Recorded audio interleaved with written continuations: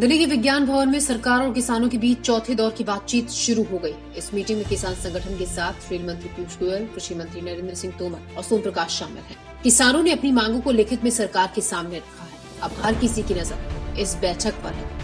वहीं दूसरी ओर अमित शाह और कैप्टन अमरिंदर सिंह ने भी इस मामले पर मुलाकात की पंजाब के सीएम ने कहा कि सरकार और किसानों के बीच जल्द कोई हल निकलना चाहिए ਗ੍ਰਹਿ ਮੰਤਰੀ ਸਾਹਿਬ ਦੇ ਨਾਲ ਜਿਹੜੀ ਤੁਹਾਡੀ ਗੱਲਬਾਤ ਹੋਈ ਹੈ ਉਸ ਦੇ ਵਿੱਚ ਤੁਹਾਨੂੰ ਅਹ, ਕੀ ਲੱਗਦਾ ਵੀ ਕਿਸਾਨ ਅੰਦੋਲਨ ਬਾਰੇ ਉਹਨਾਂ ਨੇ ਕੀ ਤੁਹਾਡੇ ਨਾਲ ਅਹ, ਚਰਚਾ ਮੈਂ ਤੁਹਾਨੂੰ ਇਹ ਗੱਲ ਦੱਸ ਚੁੱਕਿਆ ਹਾਂ ਹਾਂਜੀ ਕਿ ਮੈਂ ਗ੍ਰਹਿ ਮੰਤਰੀ ਸਾਹਿਬ ਨਾਲ ਸਿਰਫ ਇੰਨਾ ਕਹਿਣਾ ਹੈ ਕਿ ਜੋ ਸਾਡੇ, ਅਸੀਂ, ਸਾਡੀ ਪੋਜੀਸ਼ਨ ਹੈ ਪੰਜਾਬ ਦੇ ਵਿੱਚ।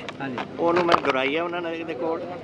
ਔਰ ਨਾਲੇ ਮੈਂ ਉਹਨਾਂ ਨੂੰ ਕਿਹਾ ਹੈ ਕਿ ਇਹਦਾ ਕੋਈ ਹੱਲ ਨਿਕਲਣਾ ਚਾਹੀਦਾ ਜਲਦੀ। ਤੇ ਉਹਨਾਂ ਨੂੰ ਅਪੀਲ ਕੀਤੀ ਹੈ। ਔਰ ਆਪ ਦੇ ਰਾਹੀਂ ਮੈਂ ਅਪੀਲ ਕਰ ਰਿਹਾ ਪੰਜਾਬ ਦੇ ਕਿਸਾਨਾਂ ਨੂੰ ਵੀ ਇਹਦਾ ਹੱਲ ਆਪਾਂ ਜਲਦੀ ਕੱਢੀਏ, ਕਿਉਂਕਿ ਪੰਜਾਬ ਦੀ ਆਰਥਿਕਤਾ ਤੇ ਵੀ ਅਸਰ ਪੈ ਰਿਹਾ ਹੈ ਔਰ ਨੈਸ਼ਨਲ ਸਿਕਿਉਰਿਟੀ ਤੇ ਵੀ ਅਸਰ ਪੈ ਰਿਹਾ गृह मंत्री अमित शाह से मिलने के बाद कैप्टन अमरिंदर सिंह ने कहा कि हम इस विवाद का जल्द से जल्द हल चाहते हैं। पंजाब के किसानों के प्रदर्शन के कारण राज्य की अर्थव्यवस्था पर भी असर पड़ रहा है। ब्यूरो रिपोर्ट, खबर आई